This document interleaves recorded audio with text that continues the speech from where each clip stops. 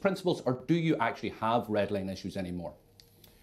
We, against all of the odds, protected core social welfare rates. That was a profound commitment. And do you accept, that, sorry to do you accept your broken promises? Clearly understandable and understood promises. Well, at this stage of the lifetime of the government, clearly uh, we had to find money somewhere, and clearly some of them are a breach of the promise. But as I said in the Dáil, when the facts change, I change my mind. I don't changed? know what you do.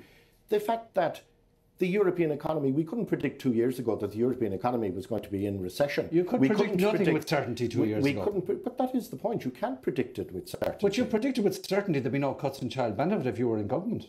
Well, the uh, situation on child benefit, uh, Sean, is that the debate is running for a very long time uh, about whether the best off people in our society should be in receipt of child benefit. And there is a report under the chairmanship of Ita Mangan completed. And yeah, but that's, minister, you didn't go into all that detail before the, the election. You kept it really simple. The minister Protect child benefit, vote Labour. Yeah, well, I mean, uh, isn't that what you tend to do during an election? But that's